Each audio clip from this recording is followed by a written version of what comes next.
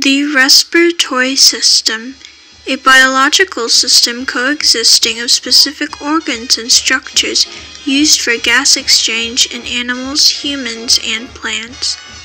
The anatomy and physiology that make this happen varies greatly depending on the size of the organism, the environment in which it lives, and its evolutionary history.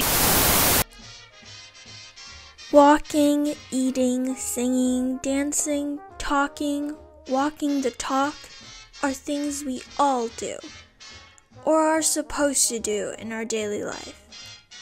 The respiratory and circulatory system work hand in hand to provide oxygen to our bodies. Without them, we wouldn't be able to breathe, eat, talk, live and we probably won't be able to catch the COVID 19 virus. The respiratory system takes care of making sure that we are able to breathe, while the circulatory system takes care of evenly transporting blood in our body, helping tissues get enough oxygen and nutrients, and gets rid of waste products. A well working system is one of the benefits we reap from living a healthy lifestyle and to live a healthy lifestyle is to live a long and happy life.